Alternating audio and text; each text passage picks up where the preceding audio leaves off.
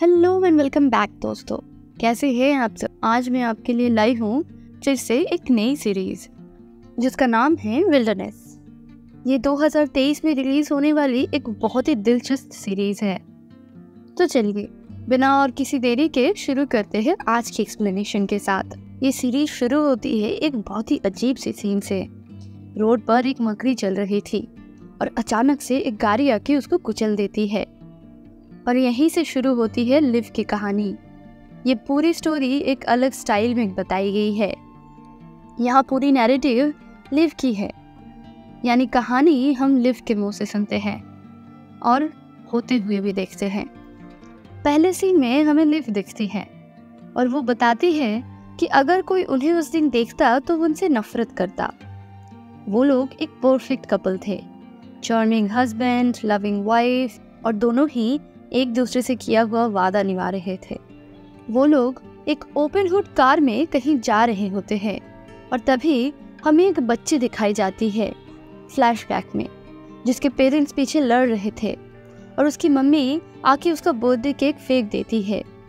ये बच्ची असल में लिव होती है। हमें यहाँ लिव की आवाज़ भी आती है और वो बोलती है कि वो बचपन से ही चुप रही है। और जैसे ही उसको कहा जाता था वो वैसा ही करती थी।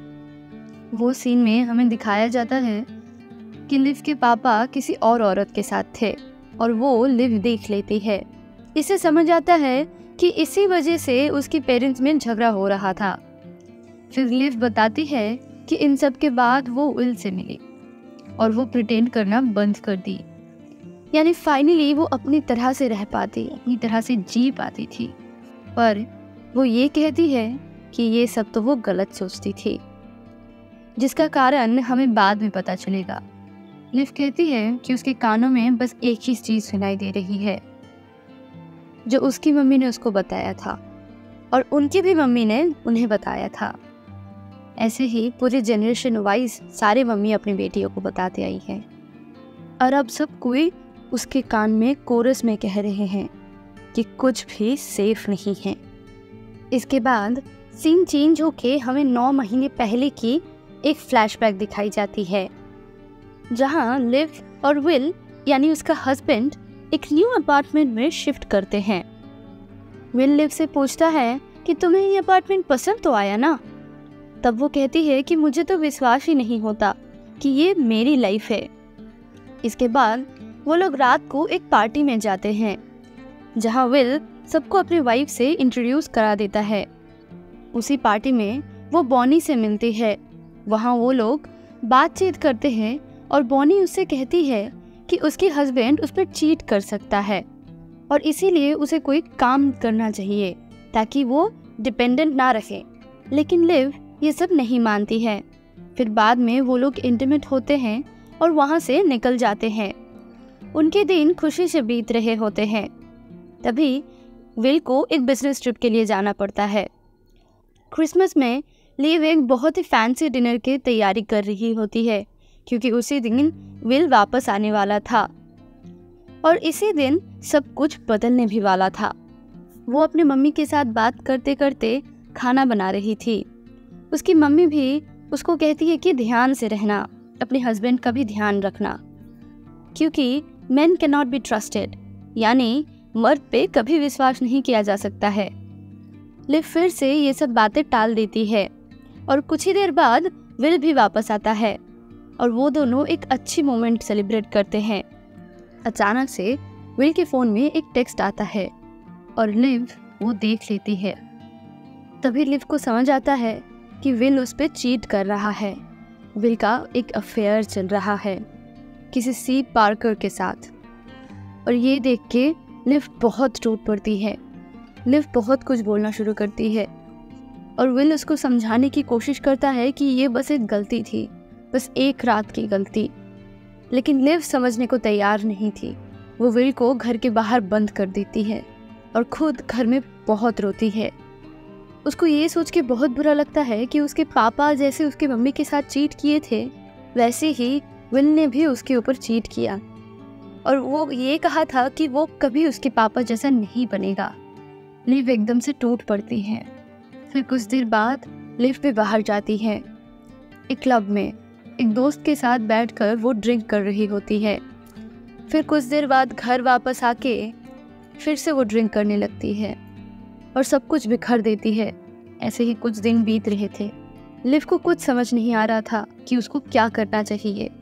क्या उसे डिवोर्स लेना चाहिए या फिर विल को फिर एक मौका देना चाहिए? वो कुछ समझ नहीं पा रही थी। फिर दो तीन दिन बाद, लिव अपने रूम में बैठ के ड्रिंक कर रही थी। विलियम आके बाहर दरवाज़ा खटखटाता है। लेकिन लिव वो दरवाज़ा नहीं खोल रही थी। विलियम को अंदर भी नहीं आने दे रही थी। तब विल दरवाजे के नीचे से उसको दो टिकट दी। वो टिकट एक्चुअली एक ट्रिप की थी, जो लिव हमेशा से जाना चाहती थी। फिर लिव जाके दरवाज़ा खोल देती है। विलियम अंदर आते ही उसे फिर से माफ़ी मांगना शुरू करता है और कहता है कि प्लीज़, इसको और एक चांस दे दो। तब लिव कहती है कि क्या तुम मुझे रिश्वत दे रहे हो? तो विलियम कहता है कि नहीं, मैं बस अपने रिलेशनशिप को ठीक करने की कोशिश कर रहा हूँ। कुछ देर सोचने के बाद लिव उसको हक कर लेती है और ऐसा लगता है कि लिव उसको माफ़ करने के लिए तैयार है। लेकिन असलियत में वो नहीं है। लिव एक्चुअली रिवेंज लेना चाहती है। और इसी वजह से वो ट्रिप में जाने के लिए तैयार हो जाती है। इस रोड ट्रिप के तीन हफ़्ते पहले लिव और विल एक ही साथ रहना शुरू करते हैं, जैसे वो पहले रहा करते थे। लिव को इस घटना के बाद एक बहुत बड़ी ट्रस्ट इश्यूज़ हो गई थी और वो विल का हर एक एक्शन चेक करता था। एक दिन वो विल के लैपटॉप लेके बैठती है और देखने की कोशिश करती है कि कहीं विलियम कुछ कर तो नहीं रहा है।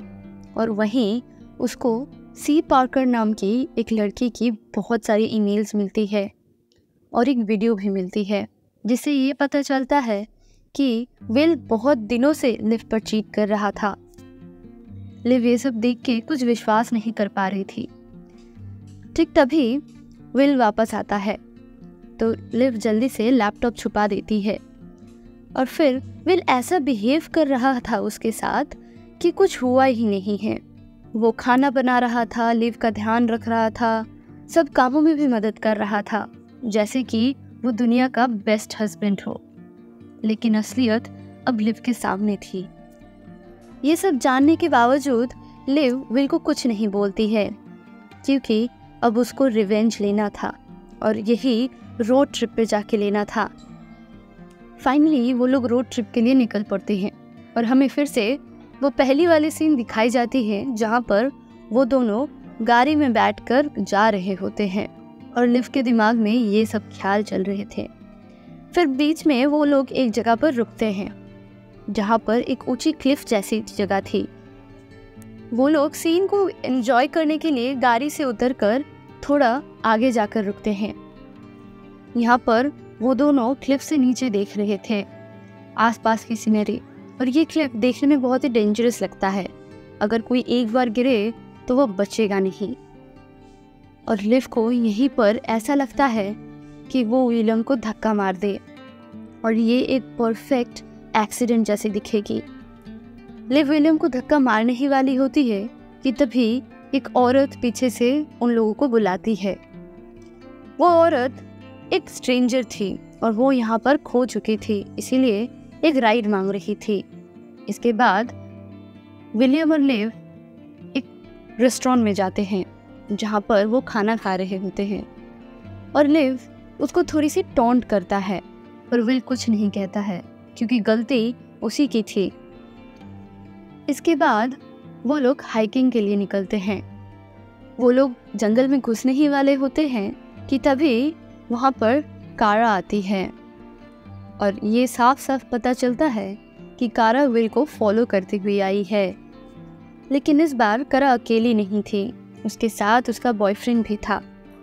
लिव कारा को देख के समझ जाती है कि यही वो औरत है जिसके साथ विलियम का अफेयर चल रहा था। पर लिव इन लोगों को कुछ नहीं कहती है। और वो ऐसे बिहेव करती है कि वो इसको कभी देखी ही नहीं है। और इसके बारे में कुछ नहीं जानती है। लेकिन असलियत तो ये है कि वह वीडियो मिलने के बाद लिव ने कारा को स्टॉप किया था। वो उसके पीछे जाया करती थी, उसके जिम, उसके क्लब, सारी जगहों पे उसको फॉलो किया करती थी। लिव एक्चुअली में ये बात मान नहीं पा रही थी कि विलियम उसके ऊपर चीट करेगा। उसको ऐसा लगता है कि सारी गलती कारा की है। लेकिन असलियत में लिव को पता है कि नहीं, गलती विलियम की भी है। इस ट्रेल पे विलियम को देखकर कारा आगे आती है बात करने के लिए। साथ में उसका बॉयफ्रेंड भी आता है। वो लोग एक दूसरे से इंट्रोड्यूस करवा देते हैं और विलियम कहता है कि कारा बस एक कॉलीग है, जो कोइंसिडेंटली वहाँ पे हाइकिंग के लिए आई थी। फिर वो लोग साथ ही में ट्रेल करते हैं और यहाँ पे कारा विलियम के साथ कुछ ज़्यादा ही चिपक रही थी। लेकिन लिव ये सब देख के कुछ नहीं कहती है और वो चुपचाप आगे बढ़ती जाती है। उसके साथ साथ गर्थ, यानी कि कारा का बॉयफ्रेंड भी चलता लगता है। विलियम और कारा जानबूझकर पीछे हो जाते हैं, ताकि उनको थोड़ा अकेला टाइम मिले। वो लोग मज़े करते हुए उनके पीछे पीछे आते हैं और ये देखकर लिव बस एक स्माइल करती है और कुछ नहीं कहती। लिव गर्ड से बात कर रही थी। और वो लोग बात करते करते तभी वहाँ पर कारा और विल आता है। फिर वो लोग एक लेक के पास बैठते हैं, थोड़ी देर रेस्ट करने के लिए और कारा जाकर अपने कपड़े उतार कर वहीं पे स्विम करने वाली होती है। ये देखकर विल थोड़ा अनकंफर्टेबल फील करता है। इसलिए वो उठ के जाने वाला होता है कि तभी वो पीछे मुड़कर कारा को देख रहा होता है और देखते देखते वो एक गड्ढे में गिर जाता है और उसके पैर में मोच आ जाती है। जिसकी वजह से वो चल नहीं पाता है और वहाँ से उसको वापस लाना पड़ता है। लिव और कारा दोनों सोचती है कि हेल्प लाने जाएगी और गर्द को अकेला रहने के लिए कहता है विल के साथ। लेकिन वो लोग मानते नहीं हैं। फिर सब लोग एक साथ वहाँ के इन्फर्मरी में जाते हैं, जहाँ पे विल की ट्रीटमेंट की जाती है। और उसको दवाई लगाकर होटल भेजने के लिए बाहर निकाल दिया जाता है। जब वो लोग ट्रेल ख़त्म करके जंगल से बाहर आते हैं तो वो देखते हैं कि विल का गाड़ी नहीं है। और उन लोगों को बिना चाहते हुए भी कारा और गर्थ के साथ होटल जाना पड़ता है। अब क्योंकि विल और लिव की गाड़ी चोरी हो गई थी तो उनके बैग्स भी उनके पास नहीं थे। इसीलिए लिव को कारा से कुछ कपड़े मांगने जाने पड़े। पर कारा के पास कुछ भी कंफर्टेबल नहीं थे। उसके सारे ड्रेसेस थे और लिव को कंफर्टेबल कपड़े चाहिए होते हैं। लेकिन विल मैनेज कर लेती है। फिर वो लोग नीचे जाते हैं डिनर करने के लिए। लेकिन विल कहता है कि वो लोग अलग अलग टेबल में बैठना चाहते हैं, क्योंकि वो अपनी बीवी के साथ अकेले में टाइम स्पेंड करना चाहता है और वो लोग अलग टेबल में ही बैठते हैं। डिनर करते वक्त लिव कुछ ऐसा कहती है जो सुनकर विल को बहुत गुस्सा आ जाता है। और इसी में वो लिव को कुछ उल्टा सीधा कह देती है। पर लिव को इतना बुरा लगता है कि वो ऊपर अपने रूम में चली जाती है बिना डिनर किए। रूम में आके लिव बहुत ड्रिंक करती है और वो नशे में सोने जाती है। लेकिन उसको इतना गुस्सा आता है और वो घर में विलियम को नहीं देख पाती है और इसीलिए वो बाहर दौड़ते हुए उसी जंगल में फिर से वापस जाती है। वहाँ नशे की मधोसी में और गुस्से में वो कुछ ऐसा कर बैठती है जो वो बहुत रिग्रेट करेगी बाद में। लेकिन आखिर में हुआ क्या था, ये हमें तभी दिखाया नहीं जाता है। हमें सीन चेंज करके पिछले दिन सुबह दिखाई जाती है। जब लिव्स नींद से उठती है, वो ये सोचती है कि कल वो कुछ गलत कर चुकी है और वो आईने के सामने खड़ा होकर ये बोल रही है कि मैं कहाँ थी और क्या कर रही थी। एक्चुअली में वो अपनी पिछले रात की एक फॉल्स एल्बाई बना रही थी। जिससे कि साबित हो कि उसने कुछ भी गलत नहीं किया है। ऐसे वक्त पर ही विल बाहर दरवाजे में आकर खटखटाता है।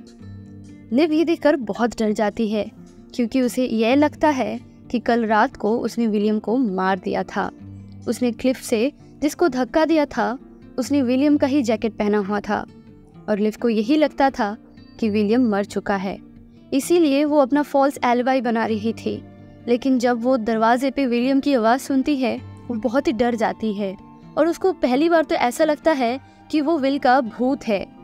लेकिन असलियत में वो विल ही था।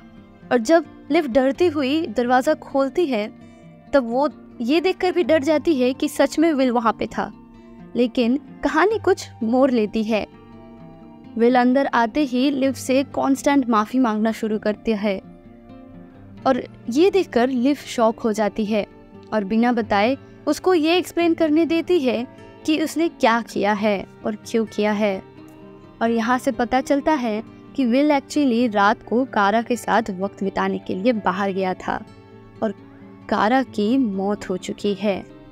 अभी विल लिव से मदद मांग रहा है कि प, उसे पता है कि ये जब पुलिस में खबर जाएगी तब ऐसा ही लगेगा कि विल ने ही ये मर्डर किया है, अपने ज़िंदगी से उसको हटाने के लिए। लेकिन असलियत में ऐसा कुछ नहीं है। विल ने ऐसा नहीं किया है। वो बार बार कहता है और माफ़ी मांगने की कोशिश करता है। और ये बोलता है कि लिव की मदद उसको बहुत ज़रूरत है। और ये सब देखकर लिव अपना फ़ायदा समझकर उसको मदद करने के लिए राज़ी हो जाती है। और वो लोग एक दिन पहले ही चेकआउट करने की बात करते हैं। वो लोग नीचे जाके रिसेप्शनिस्ट से बात करते हैं तो वो कहते हैं कि ठीक है, हम बंदोबस्त करके देते हैं। इसके बाद विल उनसे कहता है कि उसका एक रेड कलर का जैकेट खो गया है, जो उसे नहीं मिल रहा है। ये सुनकर लिव को ये पता चलता है कि कल उसने जिसको धक्का मारा था, वो एक्चुअली में विल नहीं कारा थी। वो लोग वहाँ से निकलने ही वाले होते हैं। कि तभी उनको पुलिस ऑफिसर आके कहता है कि वो लोग नहीं जा सकते, क्योंकि कारा परकर मिसिंग हैं और शायद उनकी डेड बॉडी मिलने वाली है। ये सब सुनकर लिव को अच्छा नहीं लग रहा था। तो वो बाहर जाने वाली होती है कि तभी विल को ऐसा लगता है कि लिव उस पर गुस्सा है। वो उसके पीछे जाके उससे बात कर रहा है और वो उससे कहता है कि सच में उसने कारा को नहीं मारा है, लेकिन लिव ऐसे नाटक करती है जैसे उसको विल पे ही शक है। इसके बाद पुलिस आते हैं उनसे बात करने के लिए और वो लोग एक दूसरे के होकर एल्बाई दे देते हैं।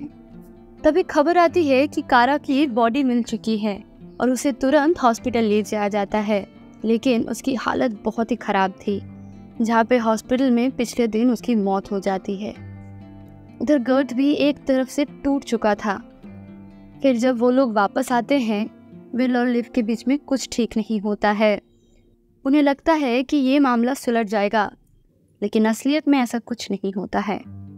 विल के ऑफ़िस में कारा के लिए एक मेमोरियल रखा जाता है, जहाँ पर जाके लिव को बहुत ही गिल्ट फील होता है। और किसी की पुलिस कंप्लेंट करने की वजह से ये इन्वेस्टिगेशन फिर से शुरू होती है। तब लिव विल को बताता है कि अगर तुमको बचना है और ये मैरिज को बचाना है तो तुम्हें कारा के साथ घटी हुई सारे सबूत मिटाने पड़ेंगे। यानी उन लोगों के चैट्स, वीडियोस, सब कुछ। और तब विल जाके ऑफ़िस में चुपके से सारे चैट्स उड़ा देता है। इधर लिव भी अपनी तरफ़ से सारी सबूतें मिटाने की कोशिश करता है, क्योंकि उसे पता था कि अगर एक बार सबूत विल तक आया तो ये लिव तक भी आएगी। इसीलिए वो अपनी तरफ़ से सारी सबूतें मिटाने की कोशिश करती है, ताकि पुलिस उसको कभी शक ना करे। इसके बाद क्या होता है देखने के लिए बनी रही हमारे साथ, क्योंकि ये सीरीज़ यहीं पर ख़त्म नहीं होती है। आगे की बहुत कहानियाँ बाकी है और कहानी में बहुत सारी ट्विस्ट जानने के लिए बने रहिए हमारे साथ और देखते रहिए हमारे वीडियोस और अगर इस चैनल पे आप न्यू हैं तो सब्सक्राइब करना मत भूलिएगा, ताकि नेक्स्ट वीडियो आपसे छूट ना जाए। और ये वाली वीडियो अच्छी लगी तो लाइक ज़रूर कर दीजिएगा। Thanks for watching.